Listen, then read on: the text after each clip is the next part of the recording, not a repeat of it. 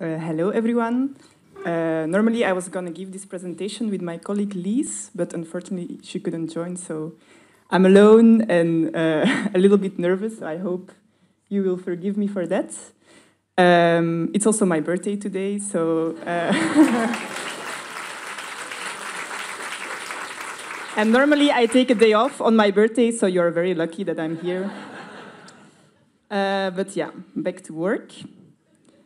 So first, I want to show you this picture, uh, which is actually very similar to this room because it's a group of people consisting out of people from the city, researchers, students, and other stakeholders. So like the same as here, but then in small and then Belgian.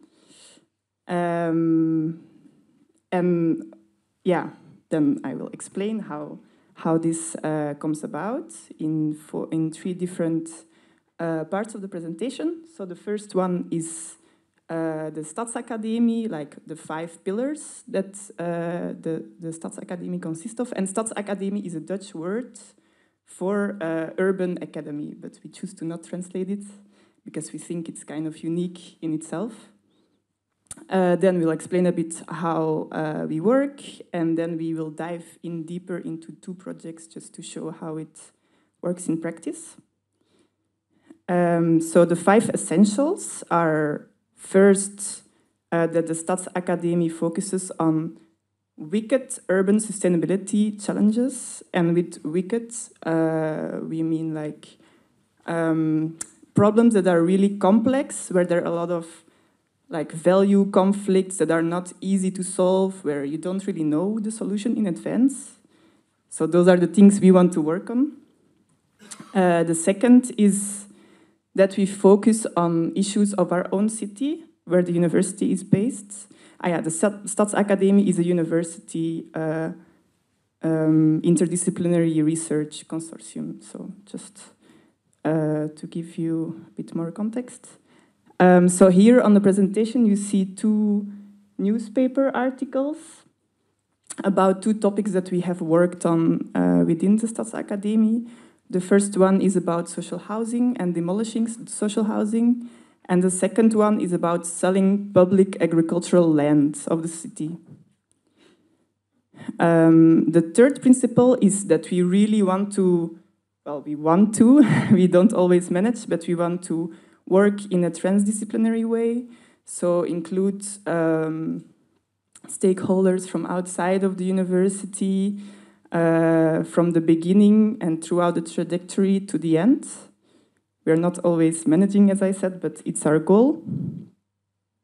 Then the fourth one I think is very important, is that we really uh, want to stay away from this kind of management logic and uh, embrace the search and being okay with getting lost sometimes and with finding things that maybe you are not looking for because we really don't know in advance what will come out of trajectory.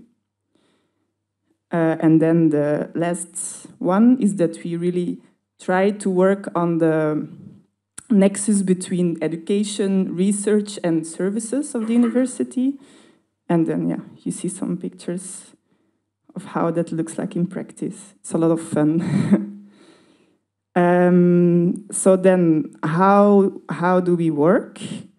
What kind of activities do we do? Uh, the main goals of the Stadsacademie are first to experiment with new ways of knowledge, because for these wicked issues, you cannot go in uh, like the reductionist monodisciplinary way. So we need to ha have transdisciplinary processes, be more reflexive on the way. Uh, we try to encourage student-led uh, engagement as well. Uh, the second is to explore on sustainability issues in Ghent, as I mentioned before. And the last one is to become an incubator and international reference for transdisciplinary research and education on urban sustainability problems. So that's uh, our goal to also become some kind of knowledge center. Um, so how is the Stadsacademie structured? There's one overall coordinator, which is Lise, who couldn't be here today. And then there's the day-to-day management by uh, yeah, the coordinator and then three professors that really like the project and also started it and put a lot of time in it. And then there's the steering group, which consists out of uh, 10 to 15 professors, postdocs, PhDs, non-academic actors. Tom, you are in the steering group, eh? so um, yeah, and Tom is from the city of Ghent was also involved in the project from the beginning. And we have a big community of people, uh, as you can see here, the picture on the Stadsacademie party that we held, which was a nice event. Um, what are the themes that we are working on? Um, these are the different trajectories. The first two are focused on the University of Ghent, circular building, and um, Living Lab Campus Terra. And then there's uh, uh, one on mobility and accessibility in the city. There's one on urban agriculture, of which the news article was about that I showed before. There's one about making space for care. There is one about interactions between the city, the campus, and the neighborhood, uh, and all the challenges that come with it. There's one about urban renewal projects, like how if, if a city renews, how, yeah, what comes with this. Uh, then there's one on food democracy and one on diversity and social housing. Um, and then the methodology. In these trajectories, we always try to start with a Stadsacademie session where we bring all those, so this diverse group of people that I showed in the beginning, we bring them on the table and we don't start from a research question, but we start from like the theme and from this session, research questions emerge. So we actually mostly use a kind of world cafe method where people sit in different tables and you switch and then you build upon like what was done by the group before and it's a very rich uh, start of a project. Um, and then it can continue in like a research project or in courses. Sometimes students work on uh, on these like questions. Uh, there are some trajectories that organize seminars, debates, lunch talks, and so it's very different. Each trajectory can like take a completely different form. And then the last one is one which is uh, maybe most key to the Stadsacademie are the master thesis ateliers. And there students from different disciplines work on a common, like, yeah, theme again in a transdisciplinary context. So they go for field cities, they uh, exchange with the stakeholders, they exchange with each other.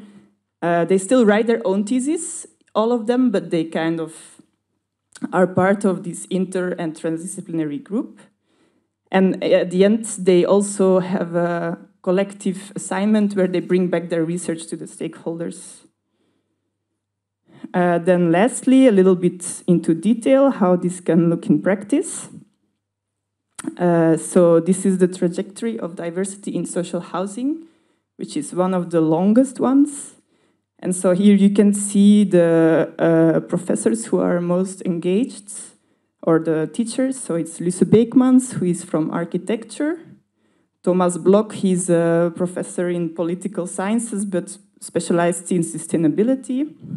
And Peter Vanden Abeele is uh, connected to the university, but also to the city as a um, like urban planner. I don't know to translate his function exactly, but he's a stadsbouwmeester.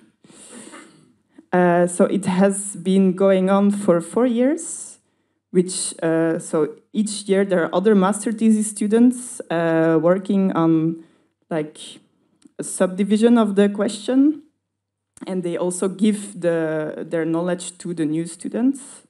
So you can see here that it has been like different areas, different um, yeah, aspects of the question of diversity in social housing.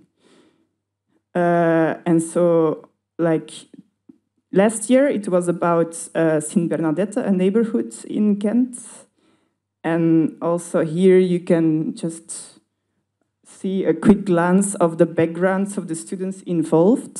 So it goes from engineering architecture to political sciences to philosophy, pedagogy. So it's a very interesting setting to working as a student. Uh, and then the second example that I want to mention, because it's a little bit different, and also because it's my own uh, project, is the Living Lab Campus Terra, which, uh, where we use the same logic of the Stadsacademie, but we, we apply it on the university, because also the university is an actor in the city, and it also has all these complex like issues to deal with. And what we also do is really intervene on the campus. Like we see the campus as an experimental place. And so we have run several master thesis ateliers and worked in courses on challenges of the campus. Um, so some themes we have worked on circular building. This is the campus, very uh, uh, 60s uh, style. Uh, we worked on biodiversity. You see some experiments on the campus where we uh, took away the concrete. Um, and they were testing like which kind of seeds can grow on this kind of soil. Uh, and this is about like campus and the neighborhood interaction with the bar below. And we did some kind of neighborhood safari where we took the neighbors to different research places on the campus many neighbors said that they have had never been even on the campus, so that was uh, like a nice, nice moment. Um, and then lastly, some reflections from our experience and also from a research paper that my colleagues are working on where they did some uh, focus groups with the students from uh, diversity and social housing, uh, is that it's really it's really challenging. Like there are a lot of difficulties. Uh, like to name some, you need to prepare a lot in advance because in Ghent, the master theses, uh, you sometimes need to know one year in advance your topic as a student, so it's really not flexible. And then every faculty has also a different procedure, so you really need to make a puzzle. Um, yeah, the university is really not organized in an interdisciplinary way. So that makes it also hard to work in this way. And we also saw that some students in the first semester, they like go and explore and exchange and they get all these ideas, but then it's difficult for them to still find their focus and to, yeah, have like their thesis uh, finalized in time. Uh, but the students also mentioned that they really liked to have these different perspectives and that they also like they feel like really that this atelier can serve as a kind of safe space. There's also a physical space where the students can work, where is also the green office. Uh, and then lastly, like what we are struggling most with is to valorize the research and to bring it back in a way that it's there's still a big gap between a thesis and like something that's practical to use. Uh, so yeah, any feedback or help on that is always welcome. Uh, yeah, that was it from my side. So thank you for uh, bearing with me.